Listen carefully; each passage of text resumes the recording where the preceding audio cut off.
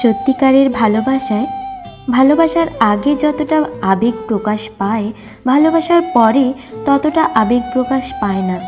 কেননা, আবেগ দিয়ে কাউকে ভালোবাসা যায়, কিন্তু আবেগ জড়িয়ে ভালোবাসা কখনো টিকিয়ে রাখা যায় না। সত্যিকারের ভালোবাসা মানে লিপকিস নয়।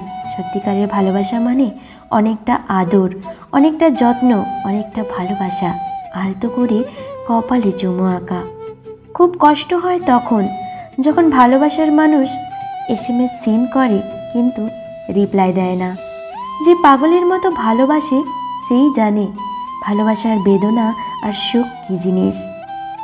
অনেকজনকে ভালোবাসা অনেক সহজ, কিন্তু একজনকে অনেকভাবে ভালোবাসাটা অনেকটা কঠিন।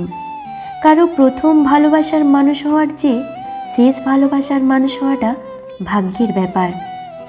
যতন করে কাউকে ভালোবাসতে নেই, তাতে শুধুই কষ্ট বাড়ে। সত্যিকারে ভালোবাসলে কাঁদতেই হবে। আজ যেমন আমি নিজেই কাঁদছি।